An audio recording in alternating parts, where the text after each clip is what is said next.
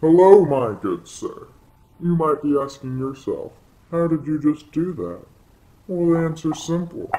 You just take this here cup of soda and you pour it in there, just like so. Easy as that. And then, with the snap of the fingers, it's magic, just like that.